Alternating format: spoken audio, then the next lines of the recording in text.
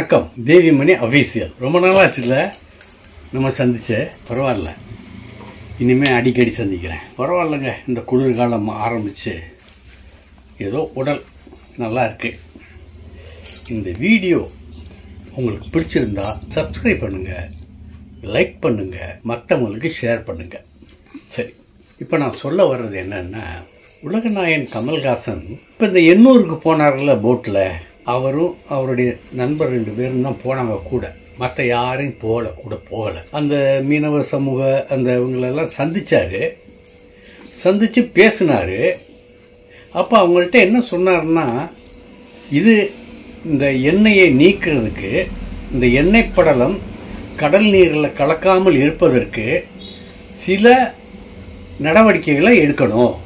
அது இன்னென்ன மாதிரி சயின்டிஃபிக்கான வேலை அப்படின்னு சிலவற்றை அவர் பகிர்ந்துக்கிட்டார் இதெல்லாம் அங்கே வெளியே வந்தவுடனே அவர் அந்த படகுல இருந்து இறங்கி வெளியே வந்தவுடனே அந்த அரசு அதிகாரிகள் இவங்கெல்லாம் கூட இருந்தாங்க.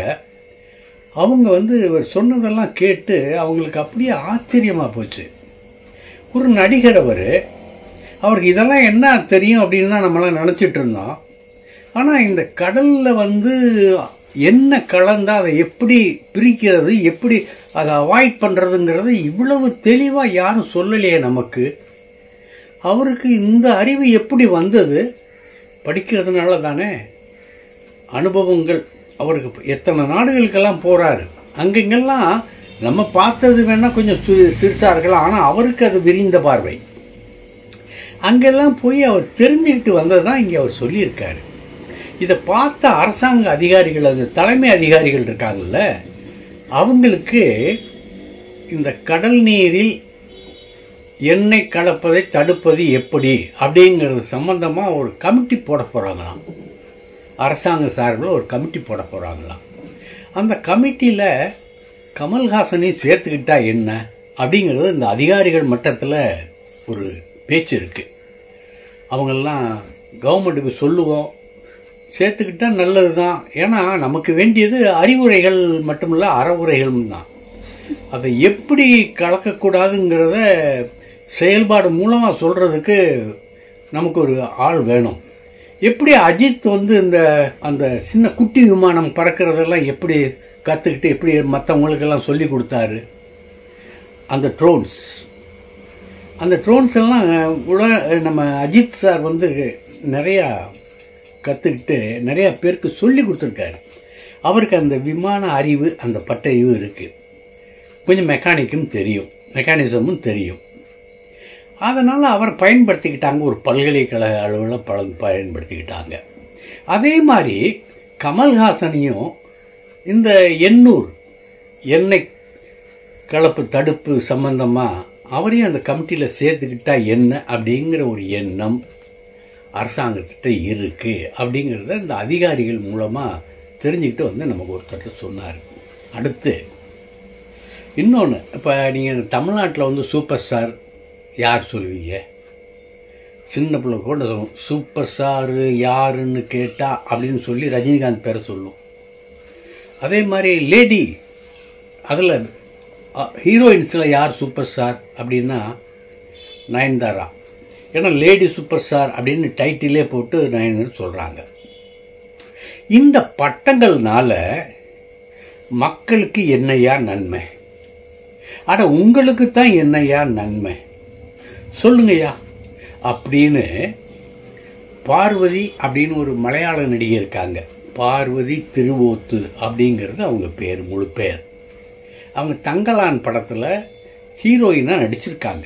தங்கலான் படத்தை பற்றி முதல்ல ஒரு சின்ன குறிப்பு சொல்லிட்டு அப்புறம் இந்த இந்த அம்மா விஷயத்துக்கு வர்றேன். தங்கலான் படத்தை நேரடியாக ஸ்ட்ரைட்டாக உடனடியாக தியேட்டருக்கு அனுப்புகிற மாதிரி ஐடியா இல்லை. அதை இன்டர்நேஷ்னல் ஃபிலிம் ஃபெஸ்டிவல் இருக்குல்ல அங்கே எல்லாம் காட்டி அதனுடைய மதிப்பை பெற்றுக்கொண்டு பிறகு நம்ம இங்கே தியேட்டரில் ரிலீஸ் பண்ணால் பேன் இண்டியா அட்ரஸ்ஸு தானாகவே கிடைக்கும். அந்த ஒரு சிறப்பு தானாகவே வந்து சேரும்.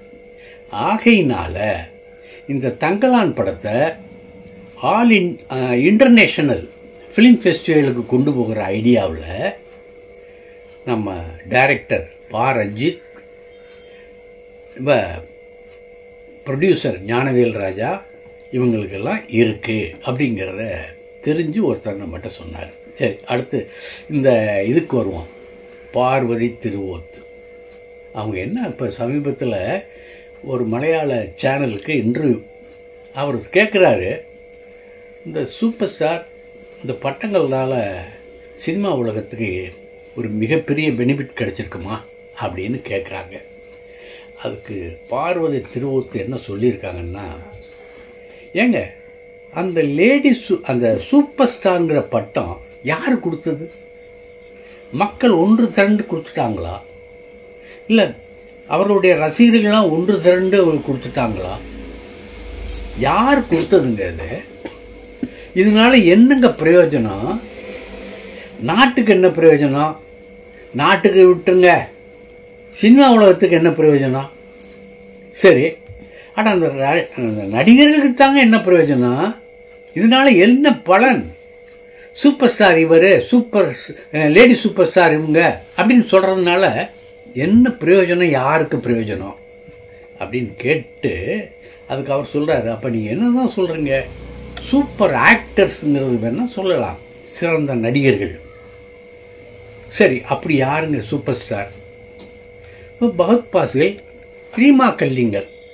இவங்க ரெண்டு பேரும் சூப்பர் ஆக்டர்ஸ் சிறந்த நடிகர்கள். அவங்கள்ட்ட சிறந்த நடிகர்கள் நடிப்பு இருக்குது அதனால் அவங்கள சிறந்த நடிகர்கள். அவங்களுக்கு சூப்பர் ஆக்டர்ஸ்னு கொடுக்கலாம். அப்படின்னு சொல்கிறாங்க அப்போ லேடி நயன்தாராவையும் சூப்பர் ஸ்டார் ரஜினிகாந்தையும் இவங்க ஒத்துக்கலை. மற்ற சூப்பர் ஸ்டார் அடுத்த சூப்பர் ஸ்டார் நான் நாயா அப்படின்னு த மல்லுக்கு நிற்கிறாரு விஜய் அவங்களையும் இவங்க ஒத்துக்கலை. அப்போ இந்த பட்டத்துக்கு மேலாம் அவங்களுக்கு ஒரு அருவருப்பு ஒரு வெறுப்பு இருக்குது இது எதனால? இது இப்போ கேரளாவில் வந்து நம்ம பகத் பாசிலும் ரீமா கல்லிங்கலும் தான் சூப்பர் ஆக்டர்ஸ்னா கம்ப்ளீட் ஆக்டர்னு சொல்லி இப்போ நம்ம மோகன்லாலுக்கு ஒரு சிறப்பு பெயர் இருக்குது சூப்பர் ஸ்டார்னு அவருக்கு ஒரு பேர் இருந்தாலும் இந்த கம்ப்ளீட் ஆக்டர் அப்படிங்கிறது மோகன்லாலுக்கு இருக்குது அப்போ மோகன்லாலும் சூப்பர் ஸ்டார் இல்லையா? அதாவது இவங்க சொல்கிறபடி பார்த்தா அவங்கெல்லாம் சூப்பர் ஸ்டார் இல்லையா? இந்த மாதிரி வீணான ஒரு வெட்டி விவாதத்துக்கு அந்த பார்வதி திருவத்தை அடிக்கல் நாட்டியிருக்காங்க. அது போக போக என்ன பிரச்சனைகளை எப்படியெல்லாம் அணுகப்போகுது என்னங்கிறது தெரியலை.